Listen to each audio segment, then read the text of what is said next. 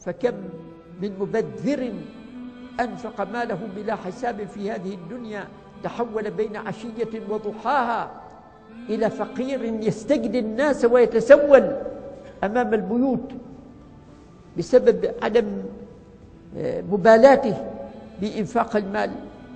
كم من أناس هكذا ولربما كان ذلك عاقبة الإمساك أيضا من شأن الإمساك أن يؤدي إلى الضد كما يقال بأن لكل فعل رد فعل. قد يكون الإمساك يؤدي إلى إلى إلى رد فعل. نحن نعرف من الأغنياء في قطرنا العماني من كان يعتبر في مقدمة الأغنياء جميعا ولكنه كان في غاية التقتير وغاية الإمساك لا ينفق شيئا مما آتاه الله.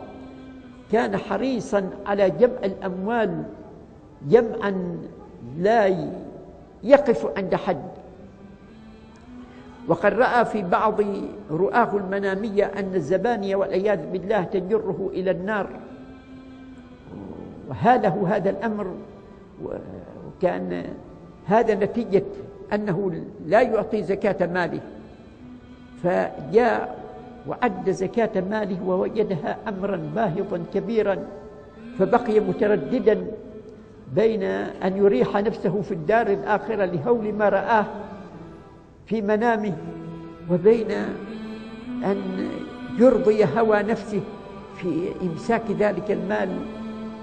وأخيرا آثر أن يمسك آثر هوى نفسه ولم ينفق شيئا من ماله وعندما توفي ورثه أحد ورثته ورثه حفيد له وبذر هذه الأموال تبذيرا حتى عاد من أفقر خلق الله تعالى.